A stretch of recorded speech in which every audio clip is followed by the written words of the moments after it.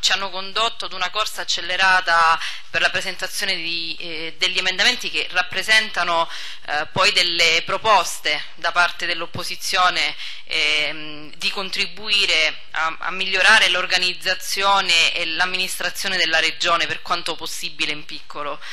Ehm, sicuramente anche noi abbiamo sofferto e soffriamo moltissimo questa modalità operativa e di lavoro che non ci consente eh, in pochissimo tempo eh, di ehm, avere una visione analitica e dettagliata di tutto ciò eh, che riguarda la manovra di bilancio, che è la manovra più importante di una regione, a mio avviso, e di un ente, eh, che sia la regione o anche più piccolo, e merita eh, a mio avviso giusta, il giusto tempo, il tempo debito che consenta una discussione veramente democratica ehm, e approfondita. Eh, mi soffermo in breve su quelli che sono... Noi non abbiamo presentato emendamenti eh, ostruzionistici intesi in tal senso perché visto il, il, tempo esiguo abbiamo preferito anche concentrarci su, ehm, sui, sugli emendamenti che eh, a nostro avviso apporterebbero veramente un miglioramento alla gestione delle risorse finanziarie e su questo mi soffermo. Per esempio nella legge di stabilità in particolare all'articolo 2 quando si parla dell'addizionale regionale dell'IRPEF eh, abbiamo proposto mentre nel testo che ci è arrivato c'è una conferma dell'aumento eh, operato con la legge regionale 2 del 2013 eh, noi proponiamo che non si applichi quella maggiorazione ehm, una maggiorazione che farebbe soffrire ancora di più eh, le famiglie che stanno in, in difficoltà in, gro in, grosse difficoltà economiche.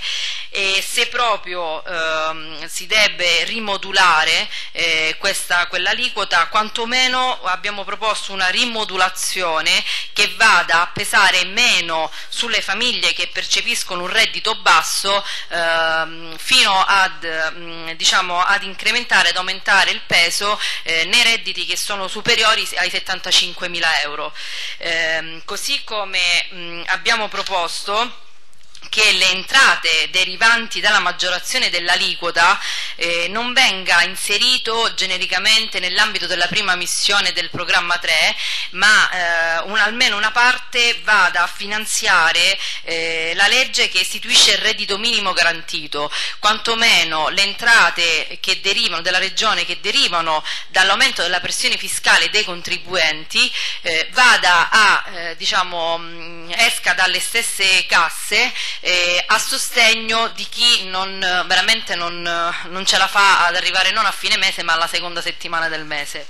Eh, queste in linea, in linea generale diciamo, il, sono le, pro, le, nostre proposte più eh, diciamo, significative eh, per quanto riguarda questo, questa, questa, questa legge di stabilità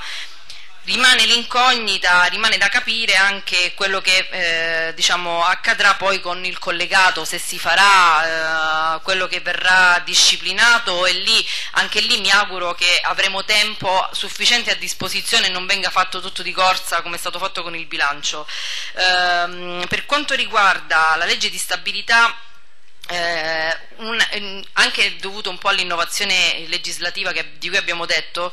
eh, una cosa che a mio avviso soffre il Consiglio è il non poter determinare dei, quanto, diciamo, quanto, va a copertura eh, di una legge piuttosto che di un'altra. Mi spiego meglio, nel famigerato quadro A, eh, eh, cioè l'elenco allegato delle leggi che necessitano di copertura finanziaria, ci sono capitoli che vanno a finanziare per esempio mh, più leggi, oppure cioè, più leggi finanziate da un unico capitolo. Allora lì il Consiglio, che è l'organo legislativo, non ha la possibilità di determinare il quantum per ognuna, cioè non può decidere, possiamo decidere di eh, finanziare la missione e il programma, ehm, ma non possiamo determinare quanto di quel capitolo andrà a eh, copertura di una legge piuttosto che di un'altra, cioè di tutte quelle leggi che vengono finanziate con lo stesso capitolo. E questo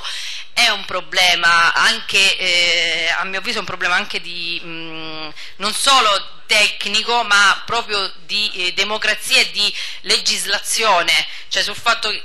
perché il Consiglio che legifera, è vero che noi non governiamo, l'opposizione non governa, però nel potere, nel potere che ha di indirizzo, almeno indirizzare il quantum vada a copertura di uno o di un'altra legge ovviamente è, è, un, è un, fattore importante. E non mi dilungo su altro, interverrò poi su, mi riservo di intervenire sui singoli emendamenti. Chiesto di intervenire il consigliere Sbardella.